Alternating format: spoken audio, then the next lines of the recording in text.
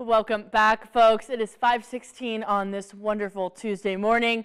I'm Josephine Sage. Let's jump right into the forecast. So as we take a look outside right now, you're going to be seeing a little bit of some overcast skies, and those are actually going to continue with us throughout the day, especially if you're headed anywhere in those higher elevation areas. There could be a little bit of some residual precipitation and maybe even some snow and rain still coming down throughout today. We've got this winter weather advisory in Mesa County at least until 9 p.m. this evening, as well as in the surrounding areas, Glenwood Springs, Aspen, Vail, and even down south of us and over the Uinta Mountains. We've gotten just about two to five inches of snow from that storm last night. And I know that wind was brutal, but it's not gone yet. We can expect wind gusts up to 40 miles an hour today, but in the next 24 hours, we should get a little bit of a clearing, a little bit more of some calm weather, even though our temperatures are about 10 to 20 degrees below our seasonal average. Again, that precipitation is sticking around, but we are expecting an increase of about 5 to 10 degrees every single day, wrapping us uh, up in the work week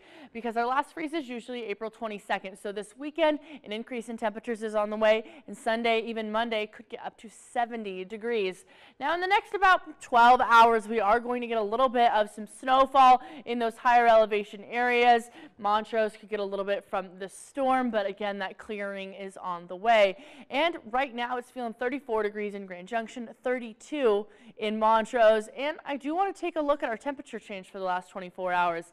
We've lost 13 degrees in Grand Junction. We've lost 17 degrees in Montrose, 19 in Aspen, and 18 degrees in Glenwood Springs compared to what we were feeling yesterday around this time. However, once we kind of get into Thursday, Friday, we should be actually getting closer and closer up to that seasonal average, close in those 60s. We'll notice we're usually used to 63 to, uh, for this time of year, but we're actually looking at 42 degrees today.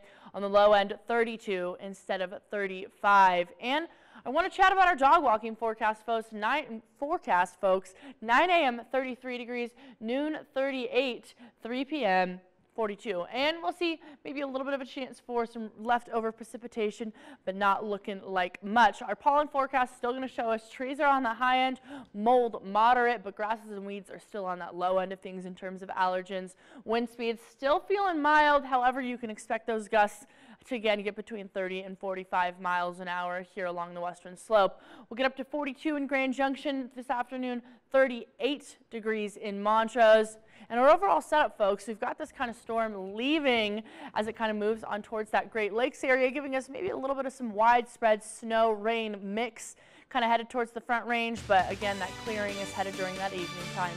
The extended forecast is going to show us Looks like today is going to be our coolest of those days, up about 5, 10 degrees every day until we get up into those 70s, the sunshine hanging out.